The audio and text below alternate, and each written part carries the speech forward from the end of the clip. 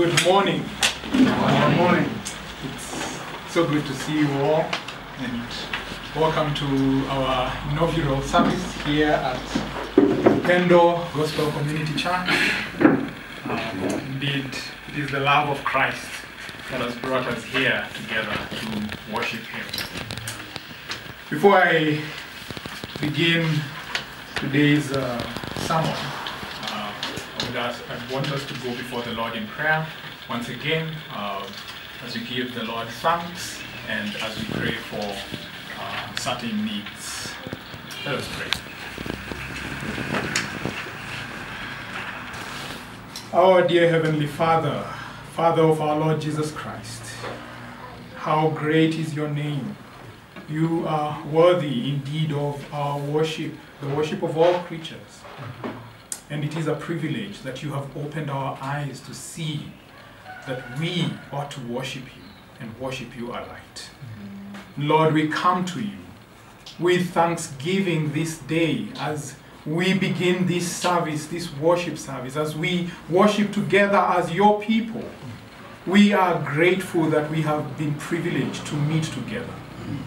There are many believers, many Christians in many nations who have who do not have the opportunity, the chance to be able to gather together.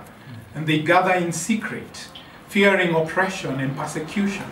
And at this time, we want to remember them and to pray for them. Dear Lord, even though some may be alone, you are with them. May you encourage them. May you keep them. We ask, O oh Lord, that you may encourage and meet their needs this day. And we are grateful, Lord, that our government has allowed us to meet. Indeed, they do not offer opposition as we meet as God's people. And this has happened by your hand, O Lord. We know that the king's heart is in your hand to do with it as you please. And Lord, we acknowledge that you have set these leaders above us. And Lord, help us, even as we are law abiding citizens, more so to be citizens of heaven that please you. And Lord, as we worship you this day, as we hear your word, as we sing, as we fellowship, and all that we do, even our thinking and our speaking to one another, Lord, may we do all to your glory. And Lord, as I come to your word to bring this word to your people, I pray, Lord, that you may grant me clarity and boldness as I speak. May you help me to be faithful to your word, not to my own ideas. Lord, may you open our eyes of faith and our ears, O oh Lord, that we may hear your word and receive it by faith, not as a word of man. This is not my word, but your word. And so I pray for the Holy Spirit's help, that I may be able to bring this word carefully and in a way that glorifies you. Indeed, may Christ be seen at the end and no one else. Lord, I want to bring various needs to you. I pray for Winnie Perez, who is part of us. Uh, she is uh, having issues with her health. Dear Lord, I pray that you may be able to help her. May you bring her wholeness uh, of body. And Lord, grant her relief and help her to persevere even through the pain and through the discomfort. Help her to look to Christ even as she undergoes this pain that she may look forward to the return of Christ. For he is coming with the glory of the Father. And when he comes back, all pain will be taken away. There will be no more discomfort. We pray for her family as well. We pray for her sister who also is struggling with issues of health. And pray the same prayer, Lord, that you may grant her wholeness of body. And even as you keep her in that state of uh, discomfort, Lord, may you grant her patience. May you grow her as a person, more so to be made into the likeness of Christ. We pray for her family members, we pray for her parents. We pray, Lord, that you may grant them a right understanding of your word, that they may come to worship you truly and faithfully in spirit. We do pray, O oh Lord, for Joy, my sister, who uh, uh, had a uh, who is having uh, pain in her foot.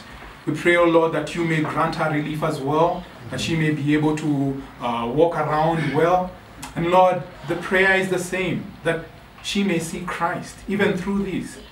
You assure us, especially in the books of James and Peter, First Peter, that even our suffering does not go to waste, oh Lord. Even our pain does not go to waste.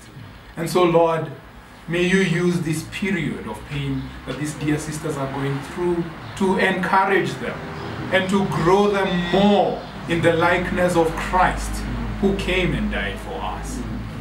We pray for this area, O Lord. Indeed, there are many people here, about a hundred thousand souls, people who need to hear the gospel, people who need to know Christ.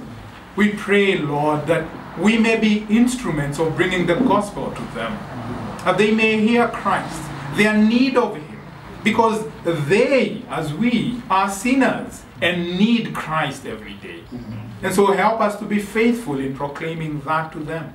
We pray for the peace of this region. We ask, Lord, that you may help it to be peaceful, especially as we are heading into an election year, so that people may be able to conduct their business in peace, and also that the gospel might be able to continue progressing in this area. Mm-hmm. Indeed, there was a fire a few days ago in our neighborhood, and we pray for many who lost many of their items. We are grateful that no life was lost. And we ask, Lord, that you may comfort those who lost different possessions, that you may help them to find a place where they may find shelter, be especially with the mothers and children, O Lord. And Lord, we ask, even once again, that Christ may be proclaimed more in this region of Maroroi and the whole northern bypass. That people, even through this local church, through our evangelism efforts, and other like minded churches around us, might come to know Christ and Him crucified. Indeed, Lord, we are here because of you. Our life is as a result of you sustaining us as governor of the universe. Our eternal life is as a result of Christ dying for us on the cross and taking our sins on our behalf. And so we owe you everything we have and we are. And we ask, Lord, that we may grasp how precious Christ is. Indeed, as we now turn to the scriptures to learn about the love of Christ in and through us, may we grow to be a people of love. People who love you chiefly and love one another as well. This we pray in the name of our Lord Jesus Christ. Amen.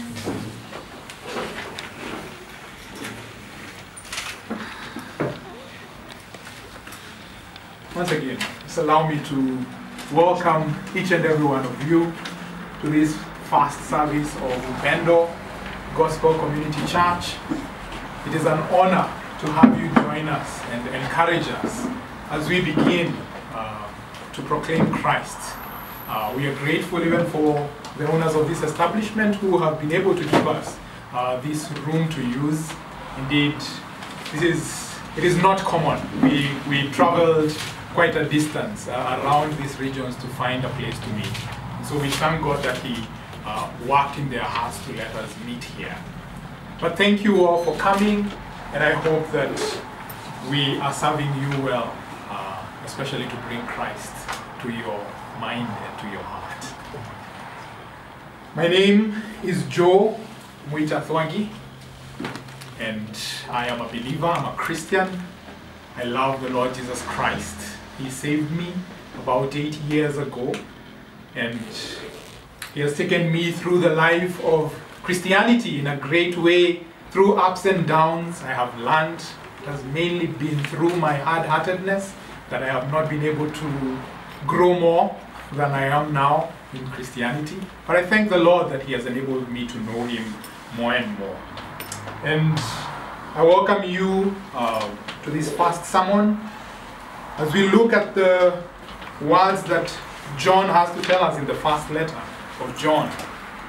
I hope that by the end of it, you can be able to see the love of Christ working in and through us. Because that's what I want us to see. Indeed, we have called ourselves Upendo Gospel Community Church. We are a people of love. And that is what we want to explore. Upendo is the Swahili word for love. We want to see this love of God working in us and through us and what the scriptures have to say about it. And so let us turn to God's word in 1 John. 1 John, the fourth chapter.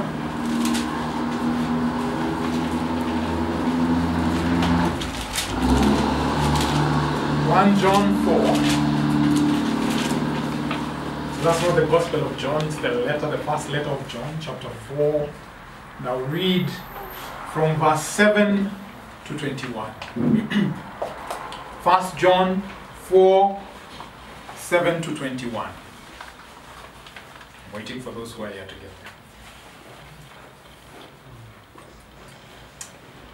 there. Now read. Beloved, let us love one another. For love is of God, and everyone who loves is born of God and knows God. He who does not love does not know God, for God is love. In this, the love of God was manifested toward us, that God has sent his only begotten Son into the world, that we might live through him. In this is love. Not that we loved God, but that he loved us and sent his Son to be the propitiation for our sins. Beloved, if God so loved us, we also ought to love one another. No one has seen God at any time.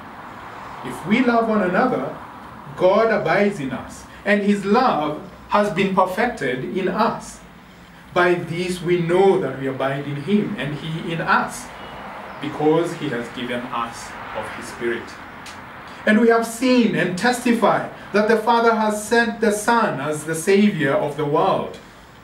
Whoever confesses that Jesus is the Son of God, God abides in him, and he in God.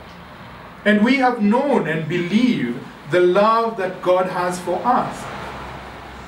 God is love, and he who abides in love abides in God, and God in him. Love has been perfected among us in this, that we may have boldness in the day of judgment, because as he is, so are we in this world. There is no fear in love, but perfect love casts out fear, because fear involves torment. But he who fears has not been made perfect in love. We love him because he first loved us. If someone says, I love God, and hates his brother, he is a liar.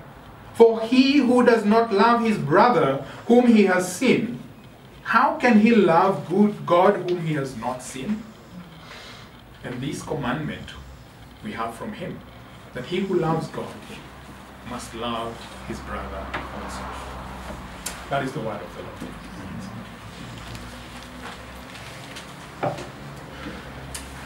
John, in this first letter, uh, is presenting Christ. Indeed, he begins by talking about that which he saw, him and his fellow disciples, that which he touched with his own hands, that which he heard with his own ears. That's what he begins with in chapter 1 of First John. And he is, uh, in part, correcting uh, some who are teaching certain false doctrines at the time. And these were people who uh, either claimed that Jesus did not come in the flesh, that as Jesus walked, you could only see a form, but even as he walked in the sand, you could not see the footprints that he left because he was not in the flesh. Indeed, they did not believe that God could come in the flesh. And this is part of what John is contending against as he writes this letter. And as he continues, he's writing it to believers. His aim is not to condemn. This book sometimes can be wrongly used to condemn. His aim is to assure the believer that we have been saved by Christ. Indeed, those who believe that Jesus is the Son of God, that he was sent by the Father, that he came in the flesh,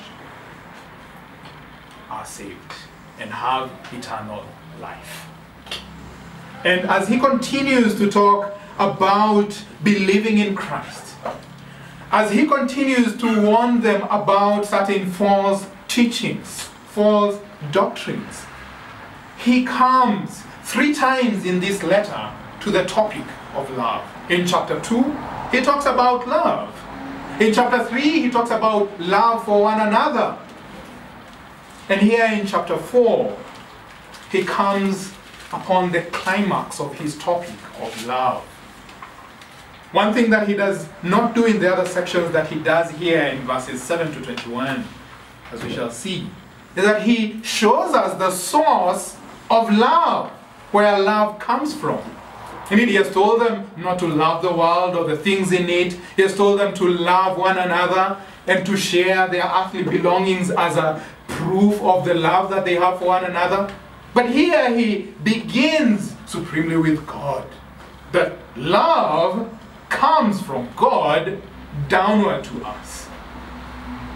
And what he wants to show his readers, what he wants to communicate to his readers, is that this love has come to us, not so that we may just selfishly accept it and bask in it, and then continue li living our lives as if there is no result of that, but that this love that comes from above helps us and shows us and directs us how we ought to love one another. That is the point, the whole point of this section. And I'm hoping to show that as I continue uh, to, uh, to exposit this uh, small section. And so he begins, um, rather he's continuing his writing, uh, but in our text he begins by saying, beloved. It's a word that he's used over and over again, uh, which the love that John here is referencing because he's talking about the love that comes from God is what we commonly know as agape love, right? The love that comes from God. So the beloved there, in effect, is those who have agape love.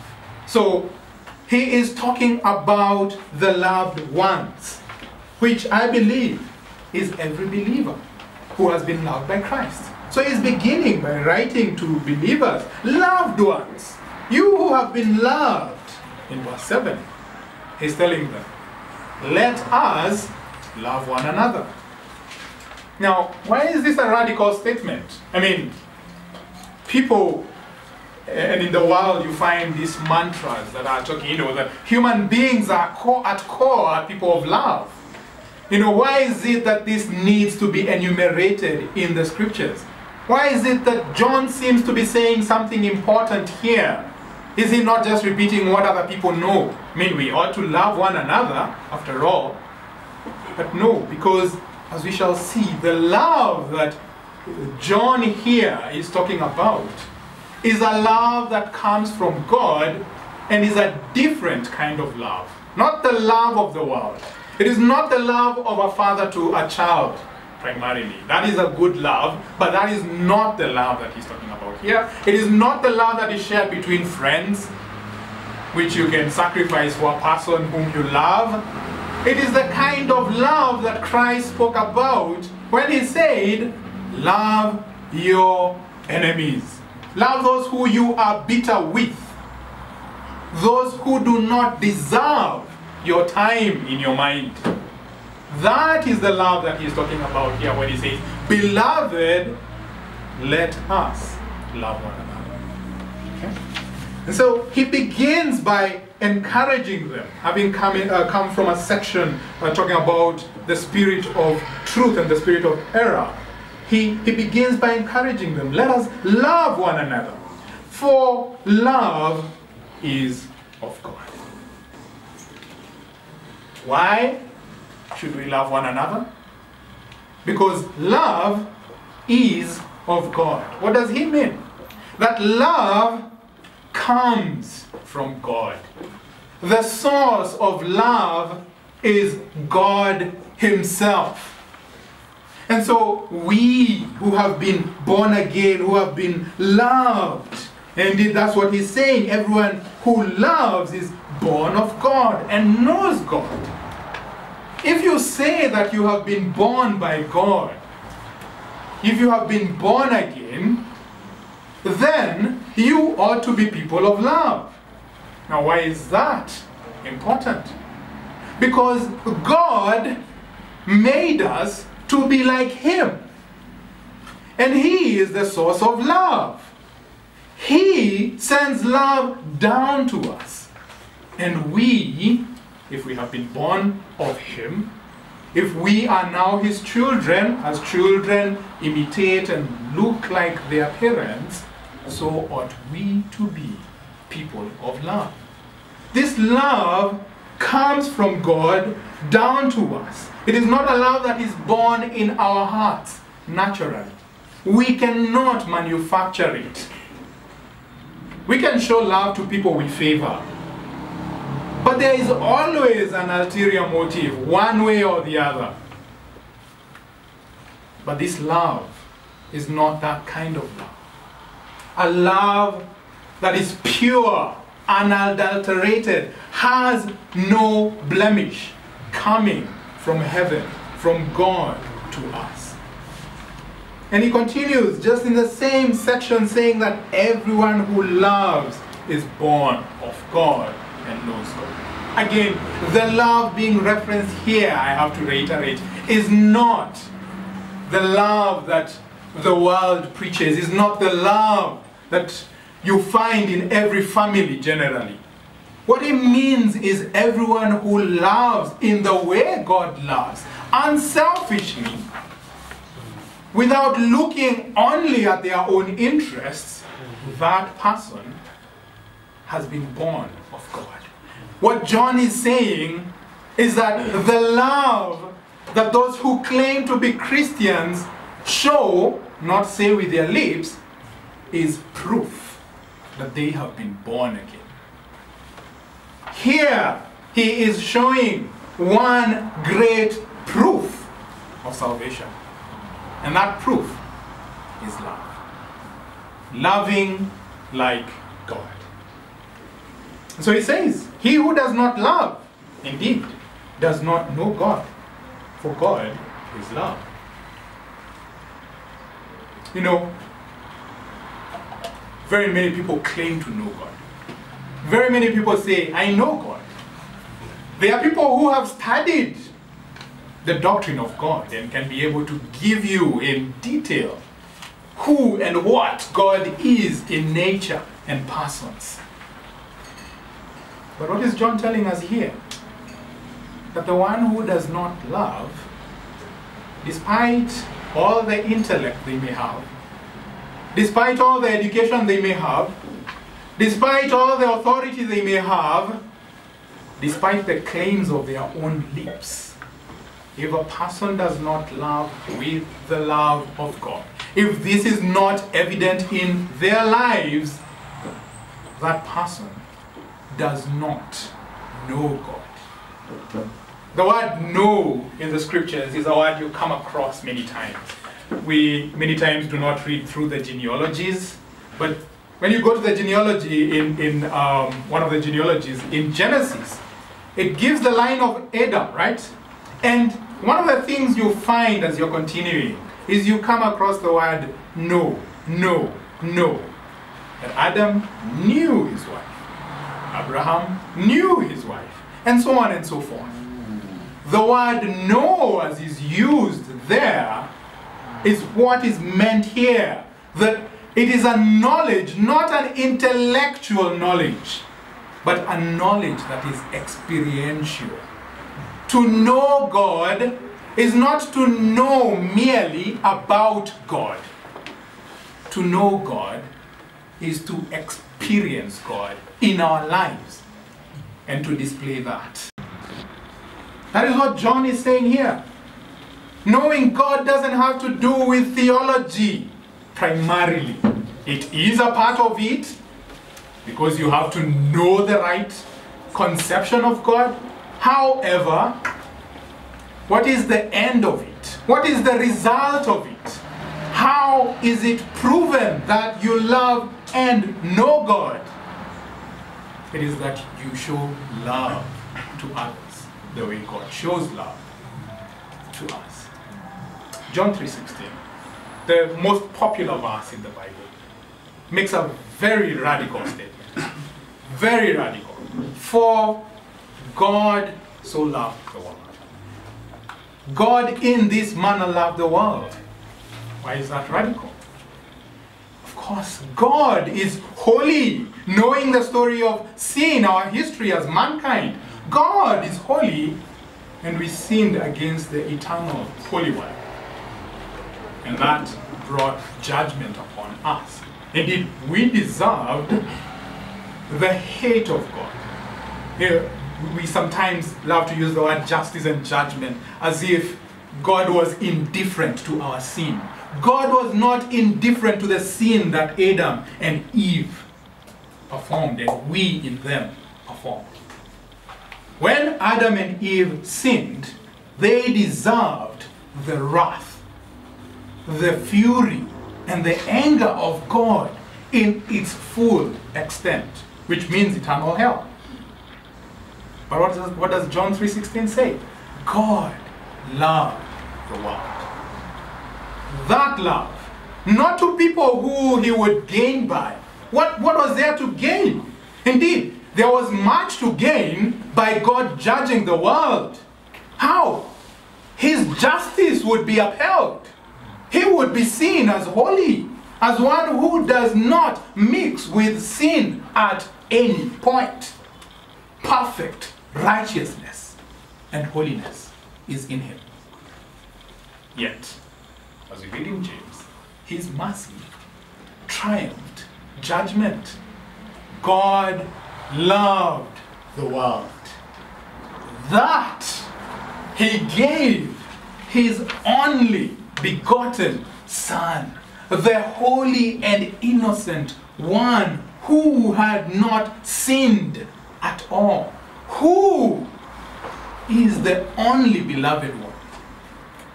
He gave him. For who?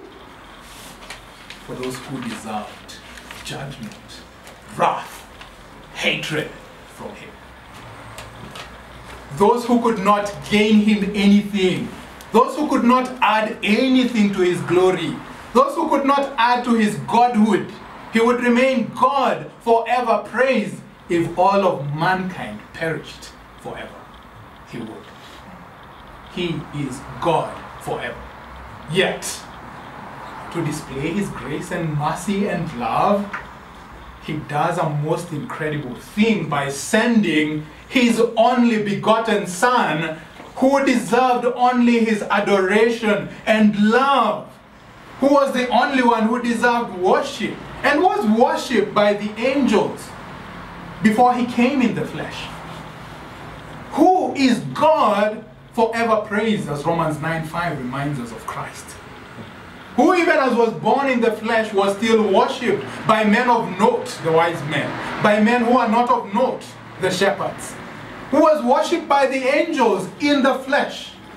He sent him to come, to live, to obey, to suffer, to die a shameful death, naked on a cross, cast, despised, rejected. All for who? For some of those who put him literally on that tree on that day, and for everyone else who put him on that tree representatively. For all of us who believe in him. And he gave his only begotten Son.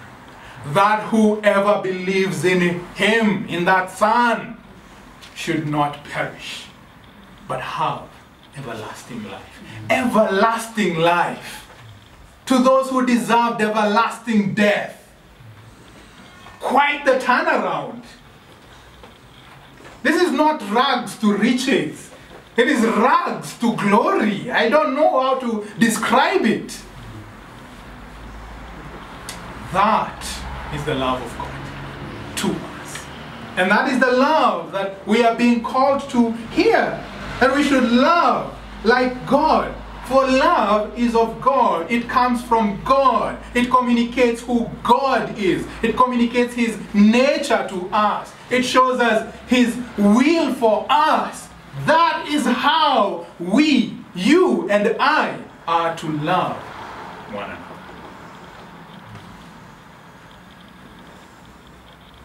And he who does not love in that manner, despite all their claims, does not know God. For God, essentially, in his nature, by himself, how he is, is love. He is so full of it, it constitutes him.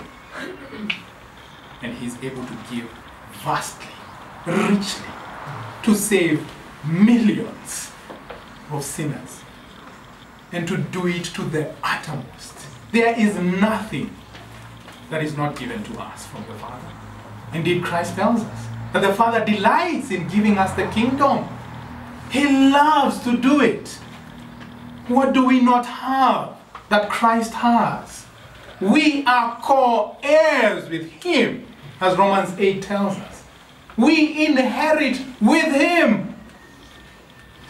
And we are made sons, like He is. The only difference is He is His only begotten. We are His adopted sons. But we share in the sonship that Christ has. And that is the love of God for us. So John continues that in verse 9, showing how in this the love of God was manifested to us. Just what I have been able to explain. How he sent his only begotten Son into the world that we might live through him. That we might live through him. That Christ is the reason that we live the kind of life that we live as believers. It is only because of Christ and what he did, what he accomplished on that cross. It is only because the Father sent him. It is only because Christ was willing, not just able, because he could have been able but unwilling. But he was willing to the very end. To the very end. Even when they mocked him and told him, If you are the Son of God, come down from that tree, he would have. He did not. He knew why he was doing it. And he did it not you know, not uh, without understanding the full implication. The Garden of Gethsemane shows us, is to show us that Christ understood the heavy weight that he was about to take on himself. So Christ had counted the cost on his part. And so on the cross, as he was thinking of you and I, he knew. He knew. And he was willing. Now, we, we see people going around and when politicians come, people throng around the politicians. You know, they come in big cars and, and, and they, they sit on the sunroof and they begin addressing the people. And they start telling the people how much they love them and how much they're willing to sacrifice their lives and break their backs for them to bring development to their areas. God help some of them to be actually sincere. But what we see as these politicians do this is people believing them. People willing to die for them. People willing to break their backs for them in return. Yet, we know even the best one of them, when pushed to the very edge, will fall under the weight. They will not give what they promised. And people have seen this over the course of many years, many elections. Promises after promises. And it's the same promises again and again. It's not a different promise. But people still come, people still show love, and people are willing to respond to what they are claiming. But here is the Son of God with his promises, full of them, from the Father to us. And he comes and lives for 33 years has a ministry of three and a half years, telling the people what the kingdom of heaven is all about and what he has come to do. And he has come to heal the sick, to make free the captive, and he has come to bring the greatest gift any man would want. Men are always looking to prolong their lives, Here's Christ saying, I have come with eternal life. There's no, there's no need to keep prolonging it over and over. I give it to you once and for all if you believe in me. And that is what he has come with from the Father. And he gives promises and promises. And history has proved his promises true, yet, how many are willing to break their backs? I'm not speaking literally. How many are willing to do for him, to respond in a like manner by making their lives a spiritual sacrifice? By living in obedience to his commands. His yoke is easy. He does not require us to turn heaven and hell to respond to what he has done. And here is his command love one another. He says, This is how the world will know that you're mine if you love one another. And he demonstrates it. He goes to the cross. Again, we cannot overemphasize how great that event is 2,000 years ago. Demonstrated it before the world, as it were, put on the center of the world in front of all peoples. Of course, they thought they were shaming him, they were putting him to sleep. But indeed, Christ was demonstrating the Father's love for us.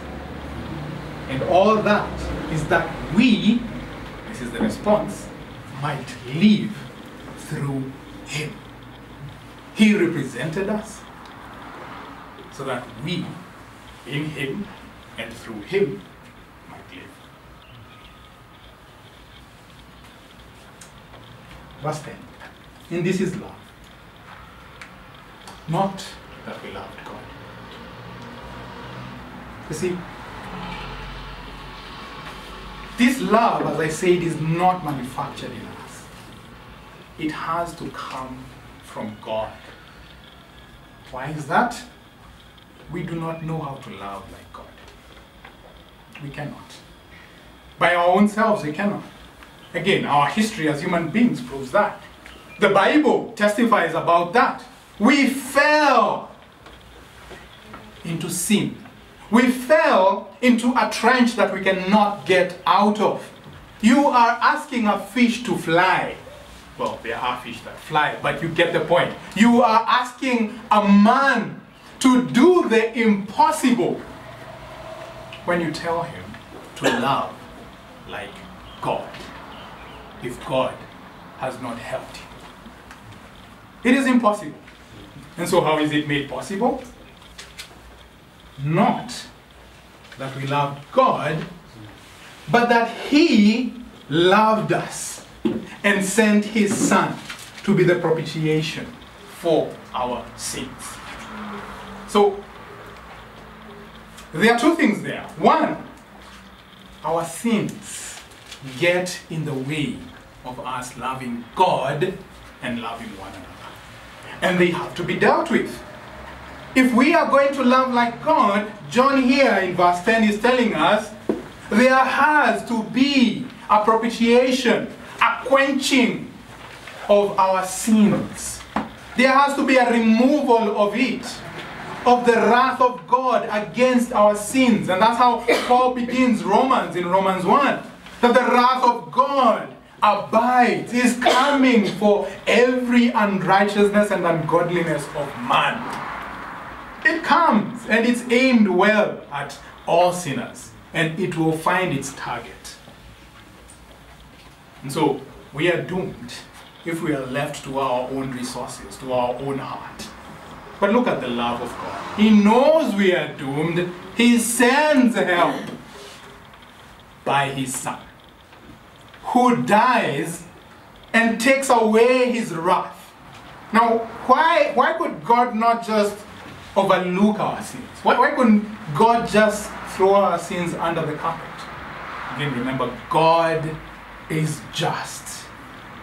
God, as a just judge, has to punish sin.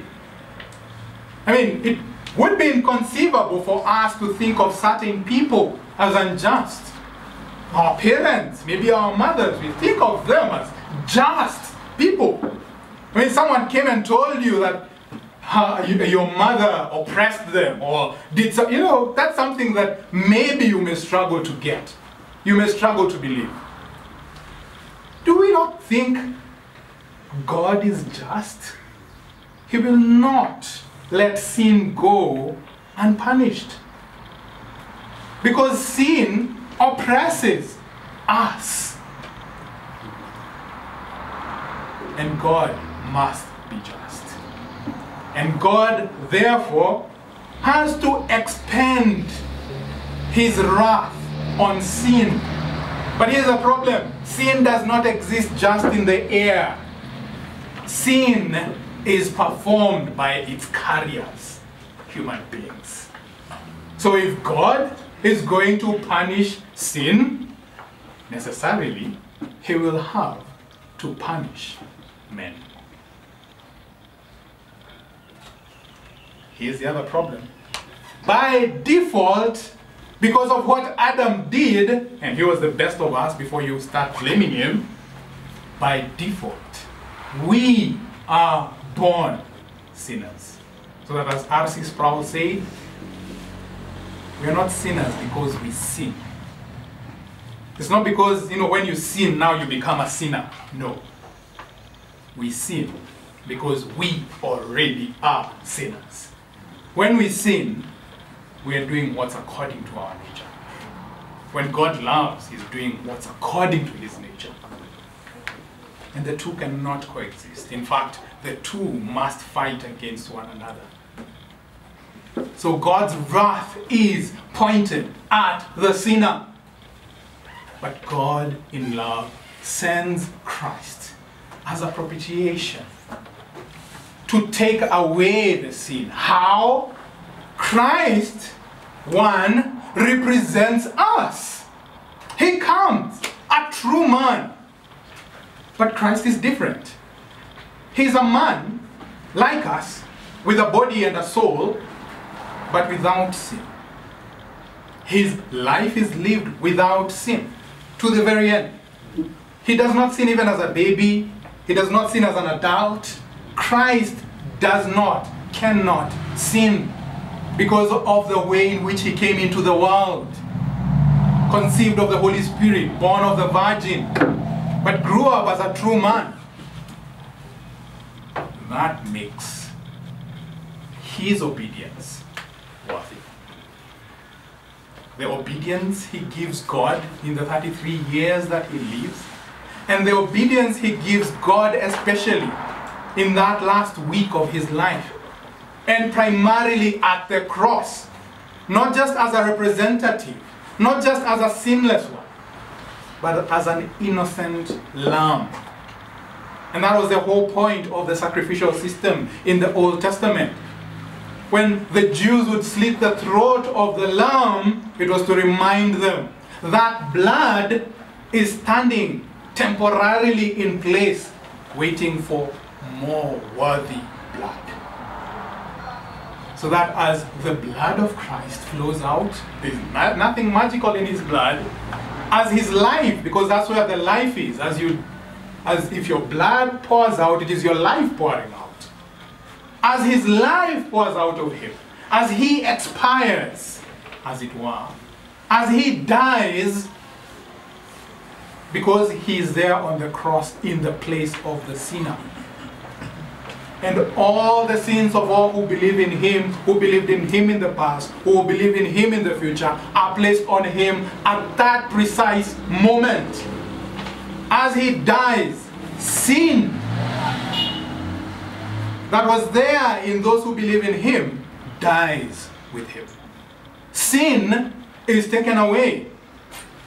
God's wrath is poured out to the last drop, to the very last drop upon Christ. His fury is exercised on Christ on that cross. Christ suffers for your sin and my sin on that cross and in that way takes away, quenches the need for justice. So that if justice stands and says, this man, this woman is a sinner, and Christ died for you, justice is shown Christ, and justice is appeased. That is propitiation. Christ taking away the wrath of God. Christ taking our just judgment on himself so that we may live through him.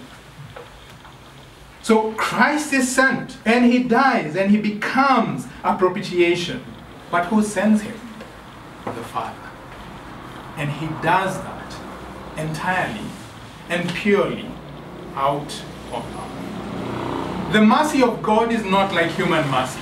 There is some similarity, but we are not to begin with the human and go back to God. It is not as if God looks on you and I and sees something in there worth pitying. When He looks at you and I in our sinful state, what He sees there deserves judgment.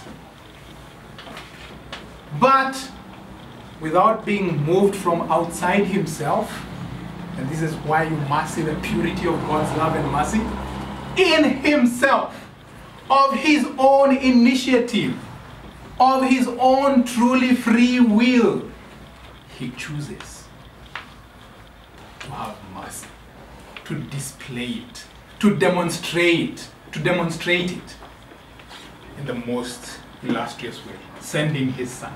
And that's why John says that love is not that we loved God. That's not how we are measuring this love. It's not that we love God and now people can be able to say you truly are loving people. You know, you've heard about this God, he's been preached to you and you've received him. And that's great love. No. Love is what God did for us and is doing in us. Because that's what causes us now to love him and to love one another. So John continues, beloved, verse 11. If God so loved us, if God in this manner loved us,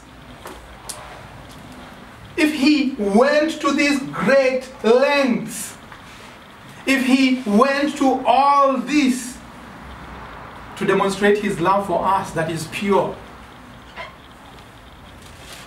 shouldn't it be the result that we love one another? I mean, if, you, if such great mercy has been shown to you and great compassion, shouldn't you also love your neighbor as yourself? Love your enemy and pray for them as Christ instructs us? Love those who do not deserve your love? Shouldn't that be the result of what God has done for us? Loving one another, showing it, displaying it, demonstrating it, going to great lengths as the Father has, thinking of others more highly, being compassionate of others, sharing even your worldly goods, in effect, putting your money where your mouth is, demonstrating love to the brethren, to other human beings made in the image of God, as a result of what God has done for you. That should be the result. That should be the result of love. And so we have been loved and loved greatly. And so we also ought to love one another. But then John, going back to the concept of knowing God that we began with in verse 7 and 8, presents a problem in verse 12. We say that we know God, but no one has seen God at any one time. Of course, we teach that God is invisible. We cannot see Him with our eyes. We cannot perceive Him with our common senses. We cannot touch Him. So, how then can you love that which you do not see, hear, touch? How? How can you, who has not seen God, be able to love Him? And that's why when we began, I was trying to show how this love working in and through us resulting in loving others is the proof that we know God, even though we have not seen Him with our eyes. That becomes the proof. In fact, Christians are like windows. You see this window? It's clear. It is showing me the outside. It works not just to receive the light, but the light works in it and through it, penetrating beyond it. Christians are like windows. The love of God should not come to us and bounce back. It should penetrate us, transforming our lives, changing us, making us love others as we love ourselves. But it should also be seen, it should be clear that it is the light of God that is working in us so that others are able to see God through us. And they are able to know that we know God and we belong to God. That is how our love should be. It is a transformative love, but it is a love that mediates, in effect, that shows the love of God to others. In our acts of love, we should show who God is. Because what we are communicating is that God has so worked in our lives. When we love others in the way that we love them, we are showing how God has loved us. And as Christians, of course, we know that we fail in great ways. You know, we fail to show the love of God.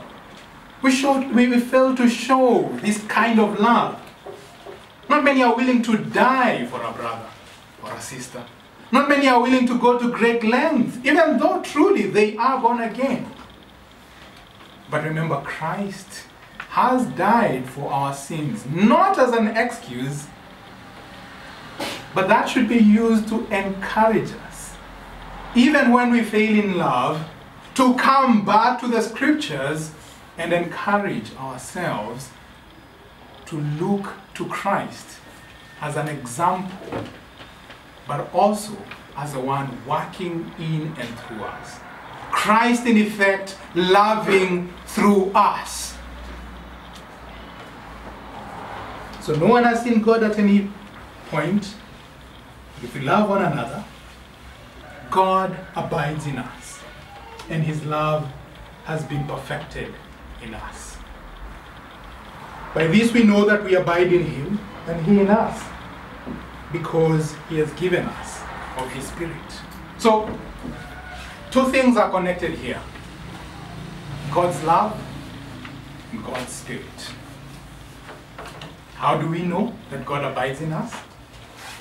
That God's spirit dwells in us. That we have received his spirit. But how can we prove that? By showing the fruit of the Spirit, which chiefly begins with love.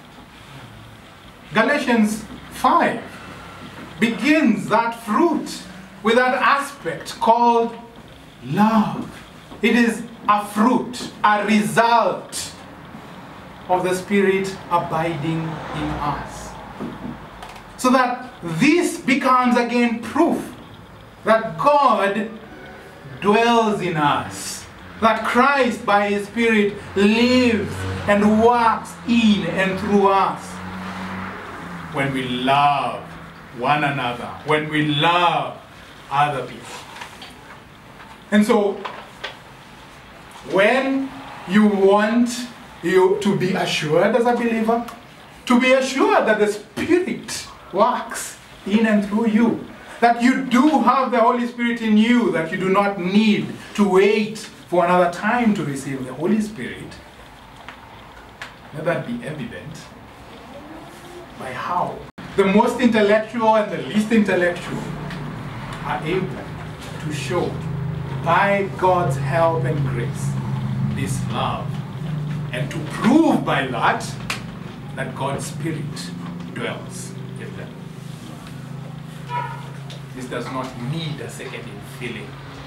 The Spirit dwells in us and we prove it by how we love one another. By how that fruit of love is evident in our lives. That's why it's called the fruit of the Spirit. So those are the two things that John here is connecting in verses um, 12, the end of verse 12 and verse 13. And we know that his love as well has been perfected, that is matured in us, has been completed in us. And when we are able to show this love, that this love is shown to be completed in us. And he continues that, and we have seen and testified that the Father has sent the Son as Savior of the world. Indeed, as we have said over and over again. It is the Father who sent the Son. Therefore, whoever confesses that Jesus is the Son of God, God abides in him and he in God. So you show love to others and you confess, and this is why I say this is not the kind of love you find in families. It is the love that can only be shown by those who confess, who in their hearts believe that Jesus is the Savior of the world and the Son of God. In effect, those who know their sins have been taken away. Christ is their Savior. And who believe that Christ is not only man, but God Himself in the flesh. And as He says in John chapter 5, He, he, he, he continues speaking to the Jews, the Lord Jesus Christ. And He's telling them, the way you think of the Father is the way you should think of me. If you give honor to the Father, you should give honor to the Son. The Father has given judgment to the Son. In fact, He Himself does not do the judgment, it is the Son who does the judgment. The Father has life in Himself, the Son has life in Himself. He is truly and specially the very Son of God. And we have to believe and confess that. We have to teach it to ourselves and to others. We have to live like that is the truth. And if you believe Jesus is the Son of God, He is your Lord. And you obey Him. And therefore, if you do not live a life in obedience to the Son of God, who is also your Savior, not just your Lord, He's taken away your sins, but you also live a life of obedience, But there is proof that God abides in you. There is proof. In addition to you showing love and being assured that you have God's Spirit dwelling in you. That is what John is saying. And so he's connecting all these, as it were, tests of Christianity to show that all these work together in tandem to show the Christian. That is what John here is doing. So we believe, we have seen and we testify. And as I say, part of it was that he was opposing some people who are teaching that Jesus did not come in the flesh. And that's why he may be using these words that we have seen. He means literally with his own eyes. I have seen him. And I testify that the Father has sent the Son as a Savior of the world. And whoever confesses that Jesus is the Son of God, God, God abides in him and he in God. So God abides in you, he lives in you, and you, of course, being counted as his child, are in him. And it is as a result of our union with Christ that we are in God. We cannot be people of God, children of God. We cannot be in God if we do not believe in the salvation of Christ. If we do not, in effect, confess our sins and repent of them and turn to Christ in faith as the Savior of the world and believe that He is God forevermore praised.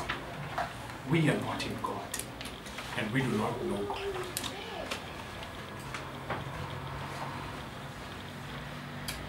So he says, we have known in verse 16 and believe the love that God has for us. Indeed, he repeats again, God is love. It's not just an attribute of God. It's not God has love. God essentially is love.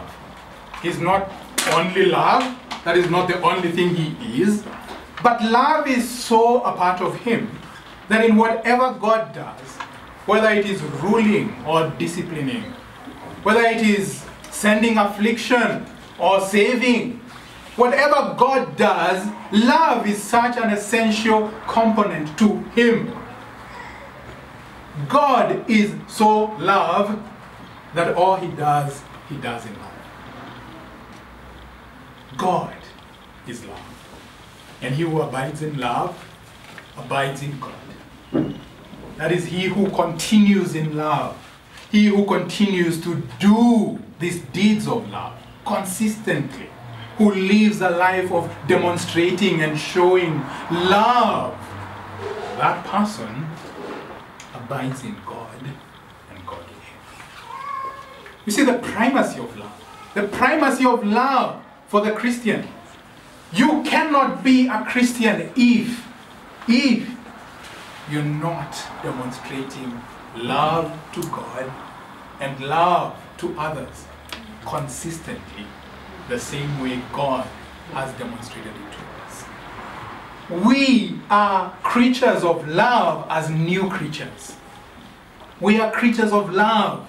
Necessarily must be creatures of love if we are Christians. If we are Christians.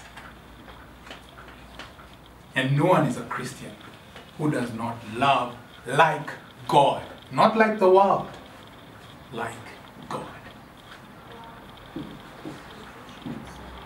So it gets to the point of this love being perfected, being made complete. Verse 17. Love this love you're talking about has been perfected among us in this way. It has been perfected, and this is the proof of it that we will have boldness in the day of judgment. Again, we, we, we love to connect justification to judgment, but rarely do we connect love to judgment, to the judgment day. You know, we love to say, I've been justified, and so I will stand boldly on that day, which is true, very true. But here John is saying, in, in, indeed, another way to know that on that day you will stand boldly is that you love. You are identified as a loving person the way God loved you. So that's, that's the idea that he is communicating. Because the last part of verse 17 is what tells us that. Because as he is, that is, as Christ is, so are we in this world right now. As Christ was loving, so are we. This is our confidence for Judgment Day. As Christ loved us, so are we on this side of eternity. So that on that day, when you stand before Him and you are not as He is, you will have reason to fear. And that's the point he's making in verse 18. There is no fear in love, but perfect love casts out fear because fear involves torment. You will be tormented on that day in your mind it will become apparent you are not like Christ. So, who are you standing as on that day? Because only those who were like Christ will be like Christ on that day. Only those who loved like Christ will be shown the love of God and of Christ on that day.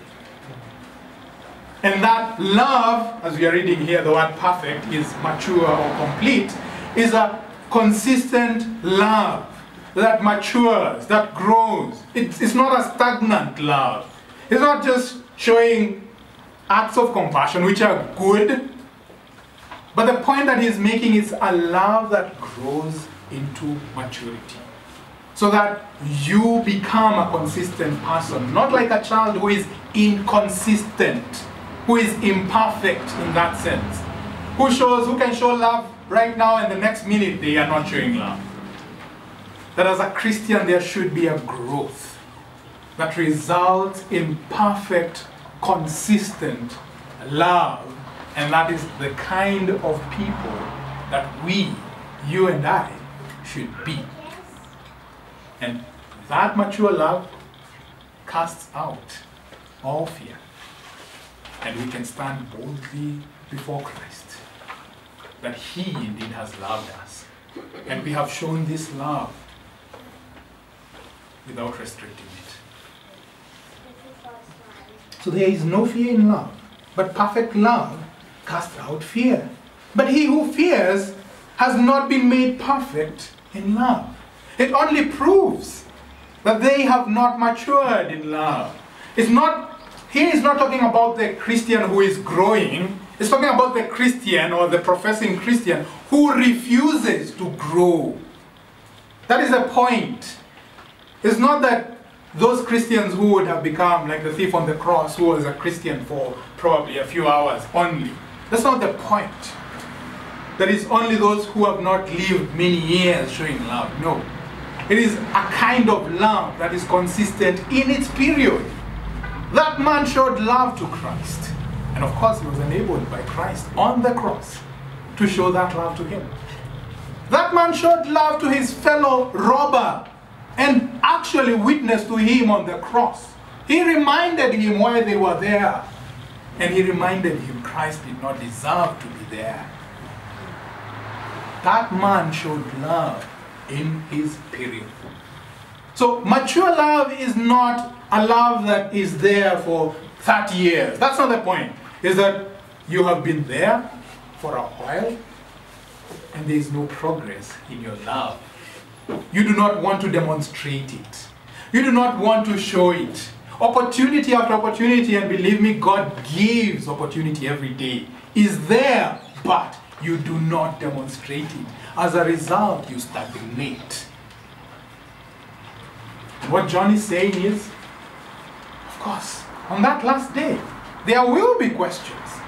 Opportunities were there, and you can testify to that. Mature love, consistent love, a love that abides in us and is shown in and through us consistently. And even though we fail, we seek to show the love again and again. And one that transforms us inwardly, that changes us, that challenges us. That is the kind of love that we ought to pursue and mature in. And that casts away fear. Indeed, we love Him. Whether this refers to God or Christ is not really, really relevant because it's the same object. We love Him. We love the one who died for us. And we love, in effect, the one who sent Him to die for us because of that very fact. He first loved us. God took the initiative.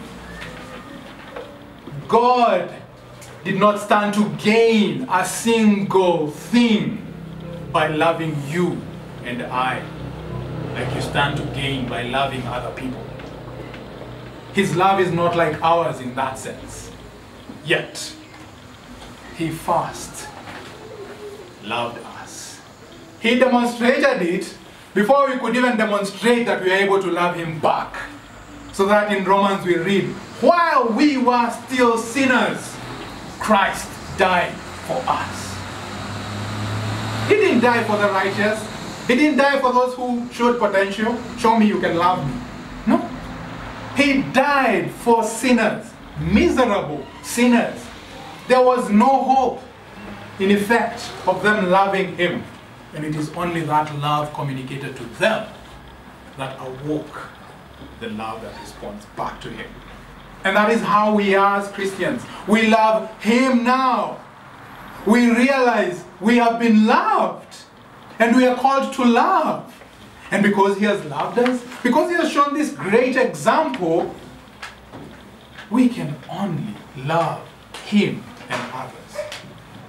And, and again, that's what He is finishing in verses 20 and 21. If someone says, I love God, with your lips, that is, and you hate your brother, that is in your heart, that person is a liar. That person is a liar. One, they lie about God. They do not know God. And they do not love God. They hate their brother. And that's evident in verse 21, or in the second part of verse 20. He's giving a very obvious reason why. That God that you cannot see with your eyes, it's very easy to say that you love Him. It's very easy to say that you love your country. Just to give an example. Speaking in abstract is very easy. I love my country. Oh, I love people from that country. Oh, I love those kinds of people. But live with them. Start interacting with them. Start knowing their faults and their sins. Start knowing how they are and what need they have. Start knowing that they keep asking you for this and that and they never give you anything. Love becomes difficult. Love is easy in the abstract. Love is easy when we think we're talking about that which is outside ourselves, out there. I love God. I know God. I mean, read in the Bible, God is Trinity. God sent Jesus to die for my sins. That's out there 2,000 years ago. But what is John saying here? If you cannot say that about the brother that you know, sinning, falling, pesty brother, who you wish would call you less, who you wish would be more responsible, who you wish had a better path in life, if you do not love that brother, and yet you say you love God, you are lying. The scriptures are not mincing their words. John is not mincing his words. He's not trying to make it pretty. You are a liar. You have entered into that category that will not inherit the kingdom of God. You are a hypocrite. You claim one thing, but demonstrate another. You profess, but you don't possess. You only claim. I love God. I'm a Christian. But is it true you are? Because how you can apply this in your life and how others can apply it in your life, but chiefly you, is by looking at your life from the lens of love. Love to God by how you love the one you live with, the one you see frequently, the one you can touch, the one you can hear with your ears audibly, the one you can speak to and be able to exchange edifying words. That is how you know that you love God. That is what John is saying. And so, someone cannot claim to love God if they do not love their brother. If they hate their brother, if they hold a grudge against their brother, you cannot claim to love the God whom you have not seen. And this is the commandment we have from God that he who loves God must love his brother also. So there are two senses this commandment is to be understood. One, it is commanding us to act in this way. That he who loves God, say you love God, the Father of our Lord Jesus Christ, demonstrate it. He demonstrated it. He has. But under that, the foundation of that is not merely the command, but the principle. He who loves God, it is assumed, loves his brother. So this is not just a dry command. It is a command built out of that principle. It is a lifestyle that you have. You already are, are loving your, your brother, your sister. You're demonstrating it. in various ways, in the little or big ways that you do. And that is the fulfillment of the command to love God. So that as Christ quotes Deuteronomy 6, the greatest commandment is love the Lord your God with all that you have. And he's answering the scribe who, ans- uh, who asks him about the greatest commandment. He attaches, in Christ's own word, he attaches the second, which is like the first. It is not second in terms of inferiority, it is second only in terms of order, but equal in measure. Love God, love people. And the way you know you love God is that you love people. So let us love one another. As we begin, this is my encouragement, especially to those who will be joining us for a long time, consistently. but we be people of love, showing love to one another, demonstrating this in our lives every day, in the boring stuff, in the stuff that is not so electric. In a brother calling you to somewhere where you'd rather not be, but you know being there would encourage them. In helping them in ways that you'd have to sacrifice a bit, you'd have to pinch yourself a bit. In telling others about Christ and what He has done, in being bold in that. And in that way, you yourself become transformed and you grow in your love for God and for other people. And that's how we will be people of upendo, people of love, loving God and loving one another. Amen. Amen. Let us pray.